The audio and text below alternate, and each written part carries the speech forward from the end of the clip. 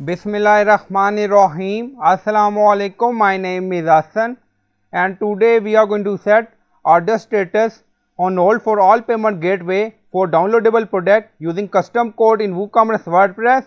Before starting work, it's my request please subscribe my channel. Thank you. Now back to our work. So this is our digital product and we enable downloadable. So we are going to set order status on hold for all payment gateway we have for downloadable product. Now go to cart page. So this is our product. So click on proceed to checkout. First we are going to place order without custom code.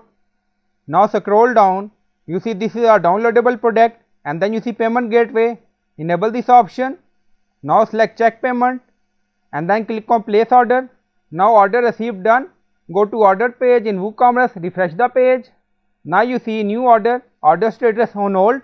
So for downloadable product, order status for direct bank transfer, check payment, cash on delivery by default on hold. So by using custom code, we are going to change order status for credit card, PayPal or Stripe online payment gateway. On left side you see plugin. So click on add new plugin. So we are going to install plugin to add some custom code.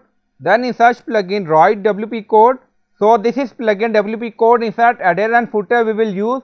So you will install this plugin and activate it and after activation on left side you see code snippet and then you see add snippet so click on it.